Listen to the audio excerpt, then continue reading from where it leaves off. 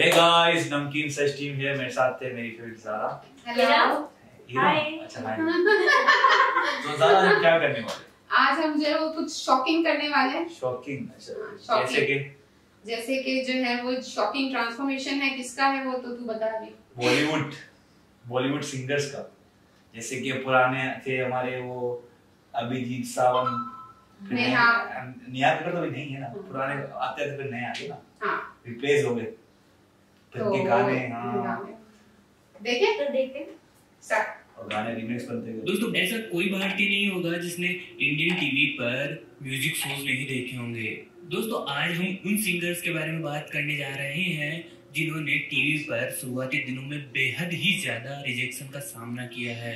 वो अपनी कड़ी मेहनत से उस रिजेक्शन के दौर से गुजरे हैं और आज शोहरत की दुनिया में सबसे ऊँचे वाले पायदान पर बैठे दिखाई देंगे। तो दोस्तों आज की इस वीडियो में इन्हीं सिंगर्स की बात करते हैं। दोस्तों वीडियो को अंत तक ज़रूर देखें क्योंकि वीडियो में हम उन सिंगर्स की दास्ता सुनाने जा रहे हैं जिनके आज आप गाने ज़रूर सुनते होंगे। नेहा कक्कड़। छोटी सी उम्र से नेहा कक्कड़ इंडिया की one of the most popular singer है जिनके गाने हमेशा ट्रेंड में रहते हैं। बिना किसी ट्रेनिंग के नेहा ने चार साल की उम्र में गाना गाना सीखा था। आज उनके कंपैरिजन में इंडस्ट्री में कोई नहीं है। वो हाल फ़िलहाल में रोहन प्रीत के साथ शादी की वजह से काफ़ी चर्चाओं में है। नेहा की जर्नी बेहद ही इंस्पायरिंग रही है। आज वो एक सेलिब्रिटी बन के घूमती है। लेकिन एक समय था जब वो माता की चौकी और जगरातों में गाना गाया करती थी। यहाँ तक कि नेहा को तो जन्म से पहले भी रिजेक्शन का सामना करना पड़ा था। लेकिन वो उसमें भी जंग जीत गई। नेहा ने बताया था कि उनके माँ बाप उन्हें जन्म ही नहीं देना चाहते थे इसके पीछे की वजह थी उनकी आर्थिक तंगी। उस वक्त उनके माँ बाप की स्थिति ठीक नहीं थी, लेकिन आठ हफ़्ते बीत जाने के कारण वो अबूसन नहीं करा पाए थे। उनका परिवार बेहद ही गरीब था। नेहा कक्कड़ के पिता स्कूल और कॉलेजेस के बाहर समोसे बेचा करते थे। इसकी वजह से नेहा की बहन सोनू को उनके क्लासमेट्स बहुत चिढ़ाते थे और इसी वजह से नेहा ने बचपन में ही ठान लिया था कि उन्हें कुछ बड़ा करना है। 2006 में जब नेहा 11th क्लास में थी, तब इंडियन आइडल का बहुत ज़्यादा क्रेज था, क्योंकि उसी दौरान अभिजीत सावंत इंडिया के पहले इंडियन आइडल बने थे। और सभी सिंगर्स के लिए बहुत ही अच्छी अपॉर्चुनिटी थी। नेहा ने इंडियन आइडल सीज़न टू का ऑडिशन दिया और उन्हें सिलेक्ट कर लिया गया। नेहा उस कॉन्टेस्ट में सबसे छोटी थी और उनकी परफॉर्मेंस ने जज समेत सबको बहुत इम्प्रेस किया। लेकिन वो टॉप एट में भी जगह बनाने में नाकामयाब रही। दोस्तों आप ही सोचिए इतनी छोटी उम्र में रिजेक्शन मिलना और फिर उनके साथ कितने लोग और भी तो थे उनका क्या हुआ आज? आज उन्हें कौन जानता है? इंडियन आइडल के बाद नेहा को हर जगह लाइव परफॉर्मेंस के लिए बुलाया जाने लगा और उनकी मुलाकात फिर म्यूज़िक डायरेक्टर प्रीतम से हुई, जिन्होंने उन्हें आ देखे जरा फ़िल्म के गाने गजब हुए रामा ऑफ़र किया। नेहा के करियर का यह पहला गाना होने वाला था, जो बिपाशा बसु पर पिक्चराइज होने वाला था। लेकिन फिर फ़िल्म डायरेक्टर को लगा कि नेहा की आवाज़ बिपाशा पर बिल्कुल भी फिट नहीं बैठ रही तो इसलिए ये गाना सुनिधि चौहान से गवाया गया। इसके बाद नेहा को ए आर रहमान के साथ काम करने का मौका मिला जहाँ उन्होंने अक्षय कुमार की फ़िल्म ब्लू की टाइटल थीम के लिए अपने वोकल्स दिए।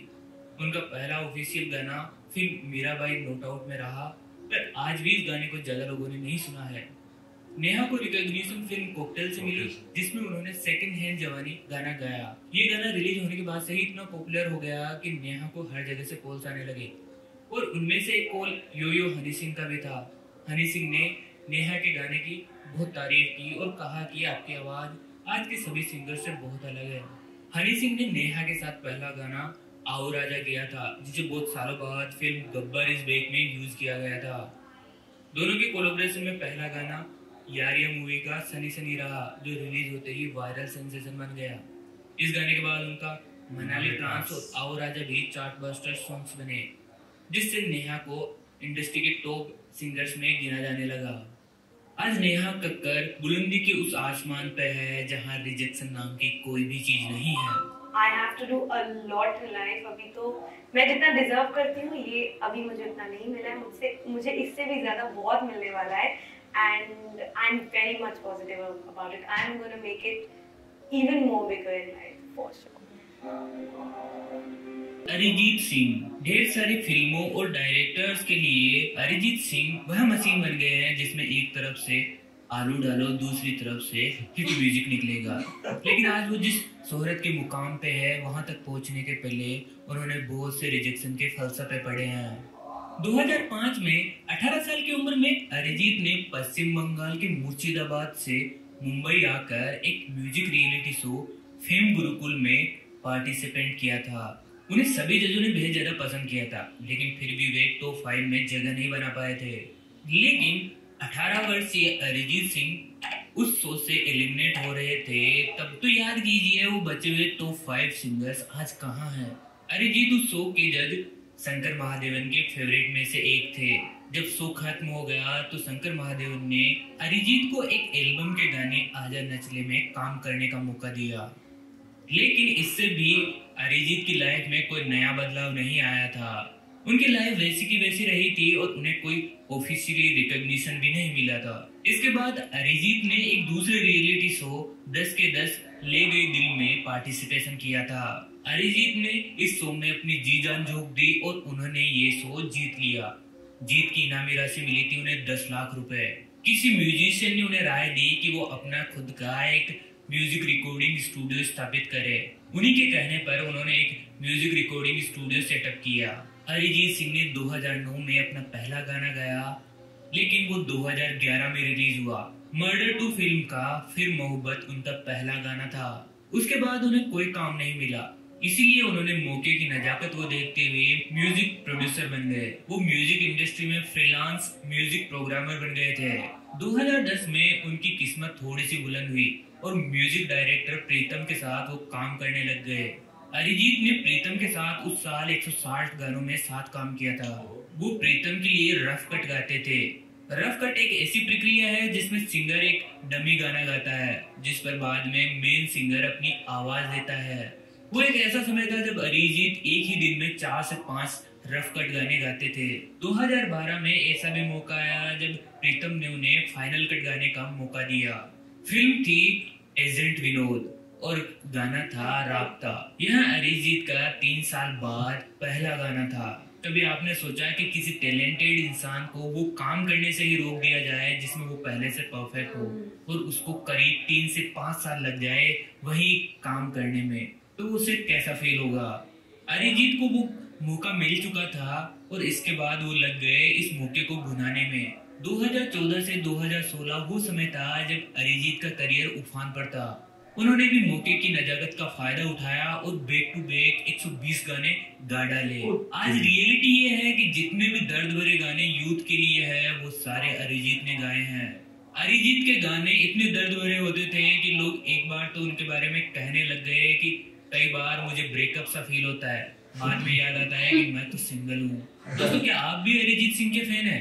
अरिजीत का कौन सा गाना आपका सबसे पसंदीदा है? कमेंट करके हमें ज़रूर बताइए। जुबिन नोटियाल।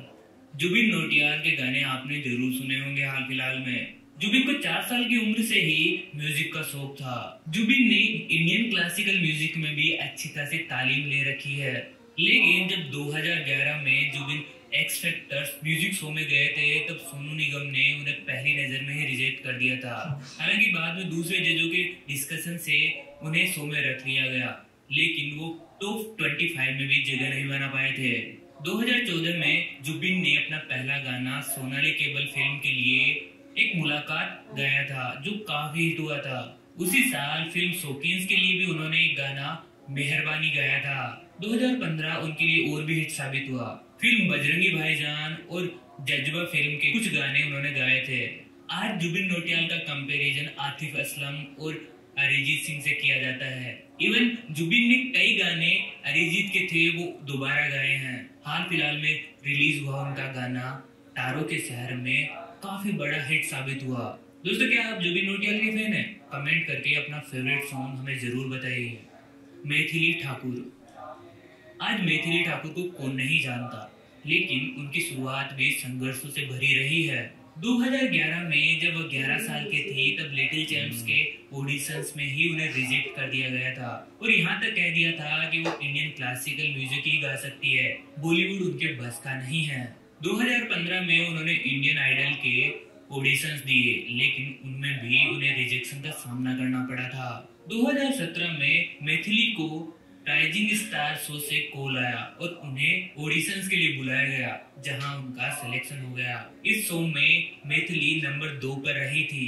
मैथिली के करीबन सारे गाने यूट्यूब और सोशल मीडिया पर ट्रेंड करते रहते हैं। वो पहली बार सुर्खियों में तब आई जब उन्होंने रिप्लाई टू बिहार में काबा सॉन्ग गाया। काबा काबा बल्लर काबा काबा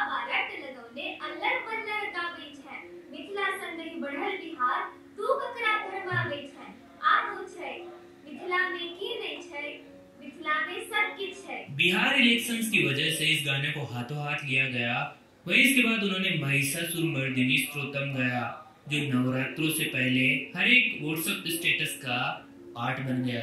मैथिली का सपना बॉलीवुड गाने गाने का नहीं है। वो कहती है कि अगर अपॉर्चुनिटी मिली तो वो बॉलीवुड गाने भी गाएँगी। लेकिन उनका सपना इंडियन क्लासिकल और रीजनल लैंग्वेज में बने गानों की तरफ़ लोगों का ध्यान आकर्षित करने का है। दोस्तों आपने भी मैथिली के रीजनल गाने सुने हैं तो कमेंट करके हमें ज़रूर बताइए। और दोस्तों आपका फेवरेट सिंगर कौन है? ये भी कमेंट करके हमें ज़रूर बताइए। वीडियो कैसा लगा? अगर अच्छा लगा हो तो लाइक और शेयर करना ना भूले। दोस्तों चैनल को ज़रूर सब्सक्राइब कर लीजिए ताकि नए आने वाले वीडियोस आपको सबसे पहले मिले। दोस्तों जल्दी मिलेंगे नए वीडियो के साथ। तब तक के लिए नमस्कार। अच्छा था। अच्छा था। ये जो लड़की थी ना ये भाई के भाई थे ना तो बैठ के थे। हाँ। वो बैठ के गाती है। अच्छा। हारमोनियम में नहीं उसके जाते अच्छा अच्छा तबला वबला। हाँ याद आया? वही थी। हम लोग जो है वो बस सिर्फ़ सॉन्ग सुनते हैं। हम हाँ। लोग को नहीं पता होता कि इसके पीछे क्या स्टोरी है। किस तरह से वो सॉन्ग इतना मतलब ऊंचाई पे पहुँचे। हम तो बस सुनते हैं एंजॉय करते शादी में सुना पार्टी में सुना। Enjoy किया हमने हाँ, हमारा काम हो गया हाँ, लेकिन हमको नहीं पता उसके पीछे की story क्या हमें नहीं स्टोरी पता हमें नहीं पता होती है वो कैसे किस तरह से वो सॉन्ग अभी जैसे एक हुआ था ना कि वो कौन सा सॉन्ग उसने बोला नेहा कक्कर का कि इसको लिया वो गजब थे और रामा हाँ, गुजलो में थे हाँ। तो उससे उसने गाया भी सही पे एंड में लगा कि बिपाशा बासु पे जो सूट नहीं कर रहा तो फिर हाँ, चेंज एक- कर दिया एक्ट्रेस तो। हाँ तो मतलब इतना अगर आप आप आ जाओ बिल्कुल लेवल पे कि आप यहाँ पे पहुँचने वाले हो अपने और फिर आपको कोई मना कर दे रिजेक्शन जो है ना वो ये उससे बुरा होता है। यही होता है रिजेक्शन एक बार मिलती ना तो फिर हम अक्सर काफ़ी है ना वो हो जाते हैं रिजेक्शन मिल गई तो आगे नहीं करना। ये करना हाँ लेकिन ये वो ये हमारे लिए हाँ, ना वो वाली बात होती है कोई कोई हाँ। इसको जो है ना वो ले लेते हैं हैं। ले लेते हैं ना अपने आप पे वो निकल जाते हैं हाँ। जो नहीं लेते फिर वो देख लो हम देख लो हम किधर है तुम वो किधर है वैसे इससे भी ये वाली बात की कि जैसे वो इंडिया इंडिया आइडल में जो फ़र्स्ट आए वो किधर है? किधर है? कहाँ आए वो लोग? हाँ हम तो भूल ही गए। और जो लास्ट में थे वो भी किधर है? हाँ। तो इसी तरह हम किधर थे किधर है? हाँ। माशाल्लाह अच्छा हाँ। इतना अच्छा सूट है। हमारा हाँ। ऑलराइट गाइस आई होप आपको हमारी वीडियो पसंद आई होगी। प्लीज़ हमारे चैनल को ज़रूर लाइक कीजिएगा सब्सक्राइब कीजिएगा और जो है वो बेल आइकन को प्रेस करना मत भूलिएगा। तब तक के लिए अल्लाह हाफिज़।